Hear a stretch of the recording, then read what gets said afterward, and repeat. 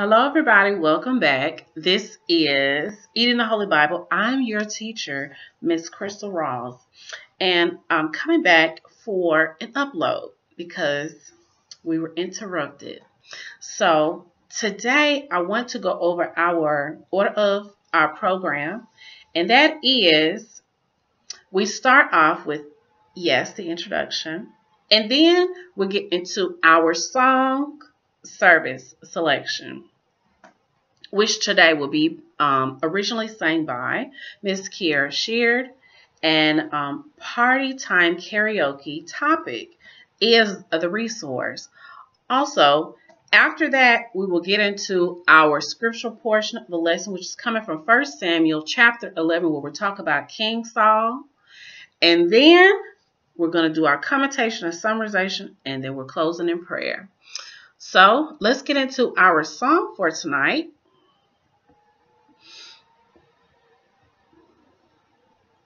Indescribable.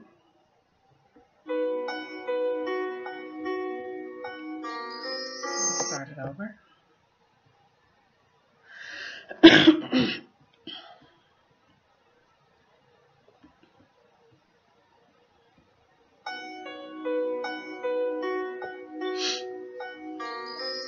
From the highest of heights to the depths of the sea. Creation's revealing your majesty.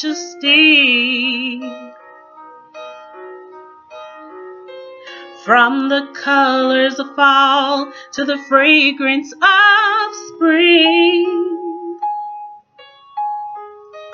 Every creature unique in the song that it sings, all exclaiming, indescribable, uncontainable. You place the stars in the sky and you know them by name.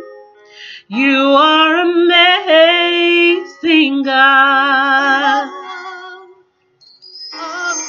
All powerful untamable. Awestruck we fall to our knees as we humbly proclaim, You are amazing, God.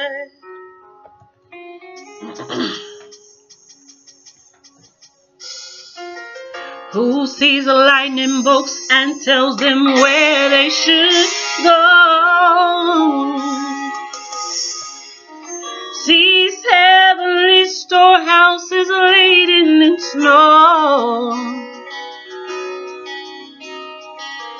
Who imagined the sun and gave source to its light? Yet concealed it to bring us the coolness of night. No one can fathom, incomparable uncontainable. You place the stars in the sky and you know them by name. You are amazing, God. All powerful, untamable, awestruck, we fall to our knees as we humbly proclaim.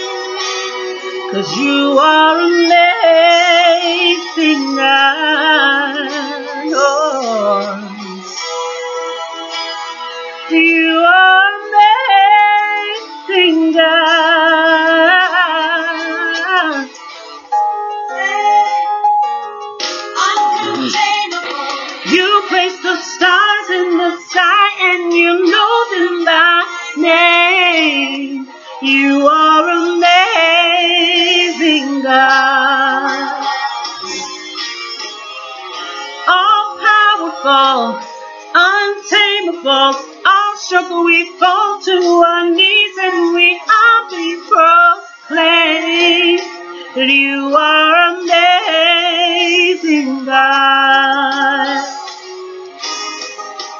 Incomparable, unchangeable,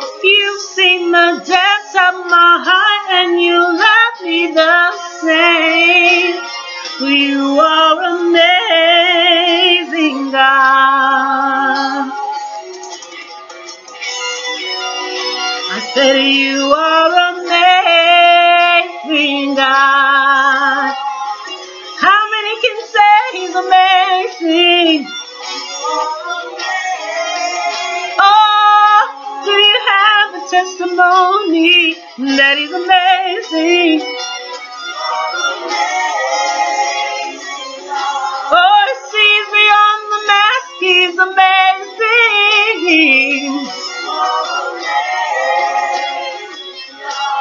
Forever beyond the dark, he's amazing.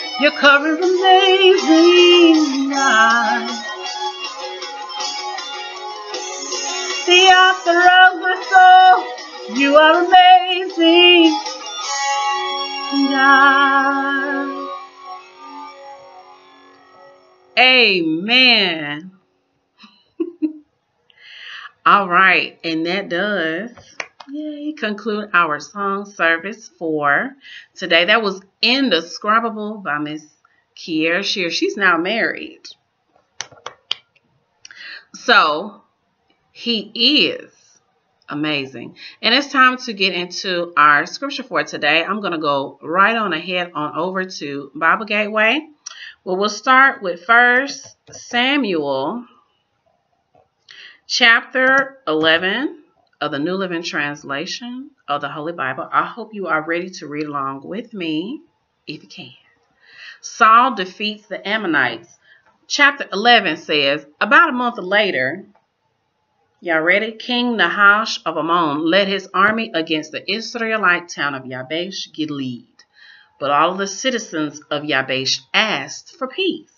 Make a treaty with us, and we will be your servants, they replied. All right, Nahash said, but only on one condition. I will gouge out the right eye of everyone as a disgrace to all of Israel. Give us seven days to send messengers throughout Israel, replied the elders of Yabesh.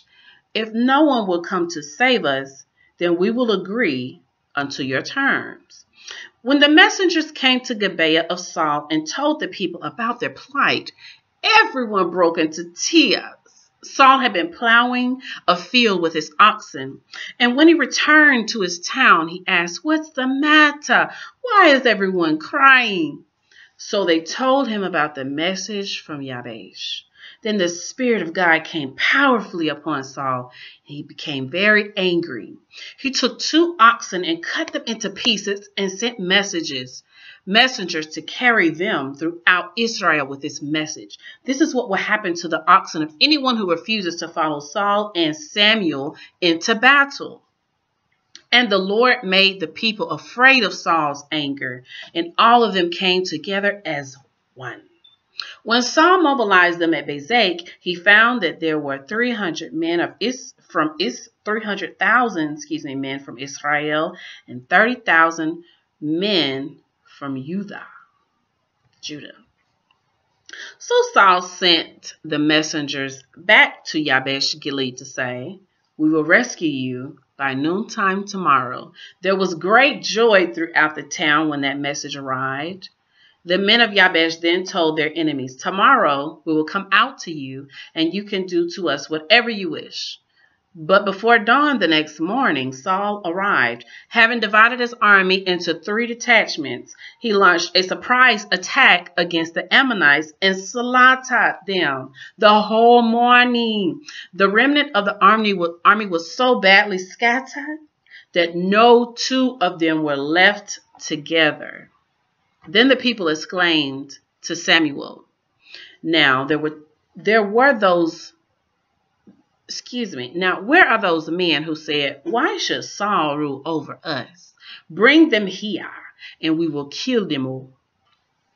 But Saul replied, No one will be executed today. For today the Lord has rescued Israel. Then Samuel said to the people, Come, let us all go to Gilgal to renew the kingdom. So they all went to Gilgal, and in a solemn ceremony before the Lord, they made Saul their king, and they offered peace offerings to the Lord. That's on the altar.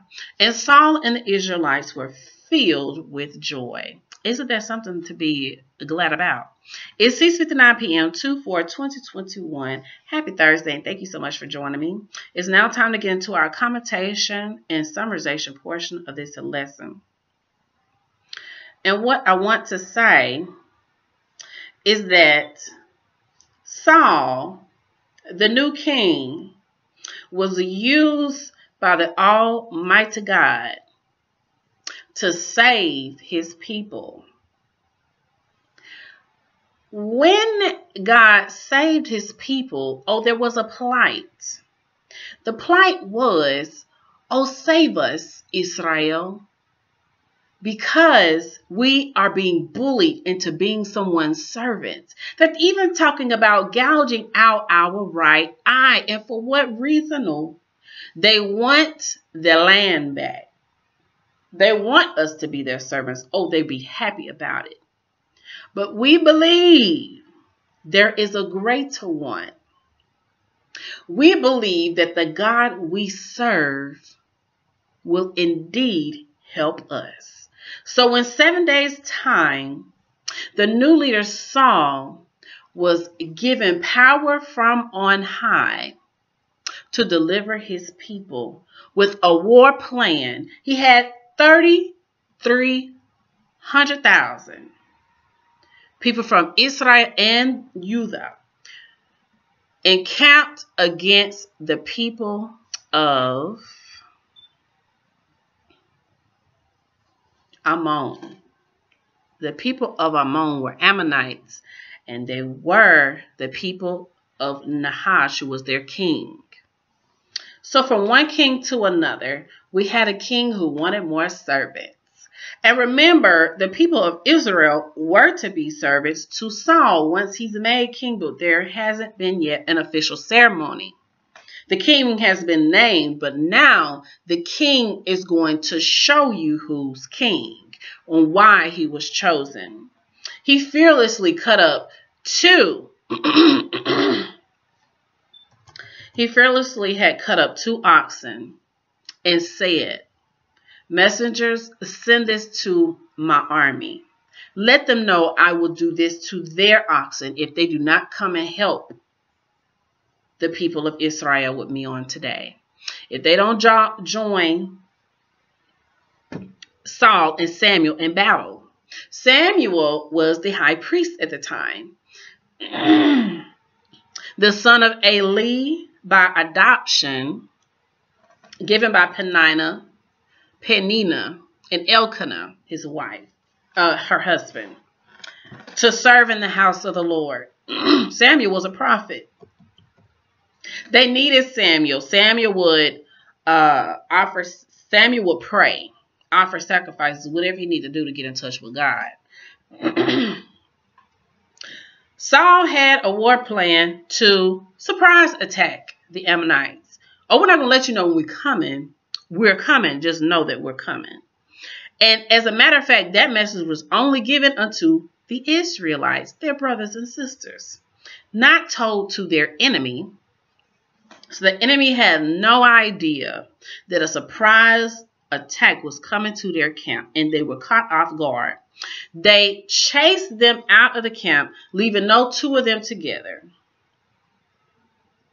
They scattered them.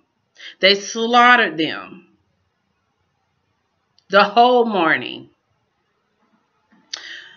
So, the people of Yabesh Gilead were saved on that day because they reached out to the people in Gibeah where Saul lived. Had they heard that Saul was being made king and where to send that message to? Well, maybe, well, we do know that's where Saul was. And we do know that the people knew who their king was. So it looks like they were looking for Saul. So Saul defeated, again, I'm going to say it, the Ammonites, King Nahash, who had been gouging out the eyes of the Israelites for some time now. As it was said in um, the previous chapter. So, what is the lesson that we have learned on today that we could take away and apply to our own lives? The lesson that we can take away and apply is that, help me, Holy Ghost. The leaders that um, have been set in charge. Um, now, this is for the people of God. So, the leaders who have been set in charge we ought to call upon our leaders for help. We don't have to fight our battles alone. Okay, how do we break this down into something that matters or means means something to us? How do we apply that to us? the Bible says in the in the multitude of counselors there is safety. Um, at this time, the Israelites were targeted. They targeted one group because, you know, the Israelites were in various parts of the land. So it sounds like they were a little bit further from their brothers and sisters. So they needed to say, hold up, wait a minute, before we make a decision, before we give in, give us time. And they took that time to reach out for greater numbers. They took that time to let their people know we, we are in a plight. They talking about gouging out our eyes, and we becoming their people, their ser- we become their service, and won't be able to help you any longer. And when Saul, their uh, uh, new uh, anointed or chosen king, had heard about this and saw the people crying, it touched his heart, and he became angry. He wanted to protect his people. So he began to call for his people in numbers to protect God's people. And this happened. So on today, if we are in need of help, we, we can call on our allies, our other people, uh, people of God, friends, family, in any situation, call out for help before we surrender. Before we surrender into something and, and, and talk to people.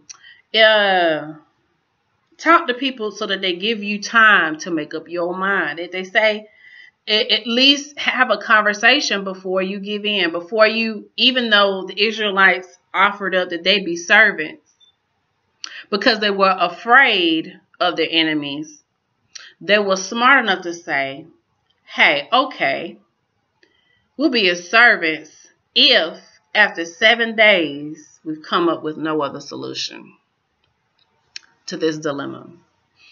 And there was a solution for they had help from their people. And we need to remember though the people um, in our lives that God has in place for us, our friends, our family members, our church members, our co-workers, whoever it is that God has there to help us. leaders. Could be your pastor. It could be elders. It could be deacons. It could be missionaries, evangelists, whoever.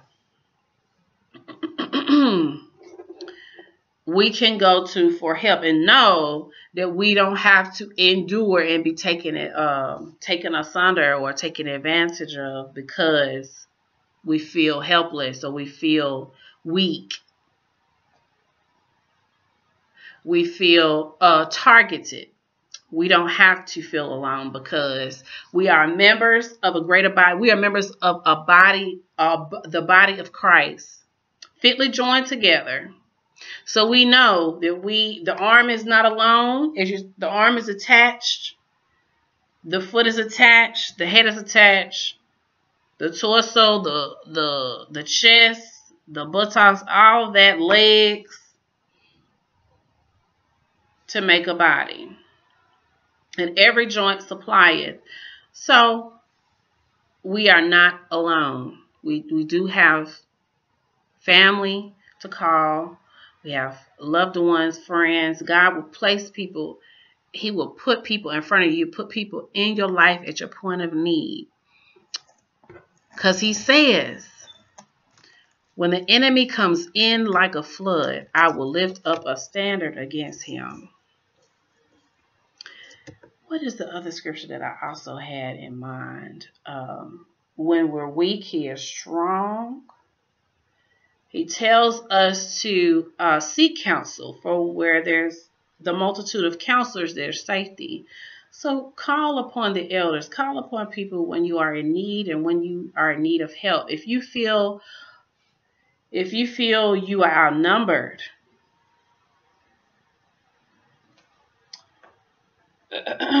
take some time. Ask for the time to sort it out, get it together, get your strength Get your strength before you come and try to face uh, a battle head on alone. I'm going to go ahead and close with that. Uh, there's no more questions, comments, or concerns. Our hearts and minds are closed, but I know it's just it me. But I want to go ahead and pray. Lord, we thank you so much for the scripture lesson on today. Thank you so much for an opportunity to come back and um, upload. We're thanking you for um, the gospel that's being spread and the teaching that is going forth throughout the land from the body of Christ, and that every joint supplieth. Um, even the greatest is the is the biggest servant, Lord. And we thank you, Lord, that we can each be your ministers. We can each minister um, the gospel to those who are in need, adding to the body of Christ, Lord. We're asking you that you prepare us for battle, that you will strengthen us, that you will encourage us, and that you will build us up and give us everything that we need. Because you shall supply all of our needs according to your riches and glory, which are also in Christ Jesus forever and ever. We praise you and we thank you, oh God, this day. Amen. Amen. And amen. Thank y'all so much for joining me. Thank you for watching. I hope that you have a pleasant uh, Thursday evening. Come on back and I'll see you again on tomorrow. Blessed be the name of the Lord. Bye, y'all.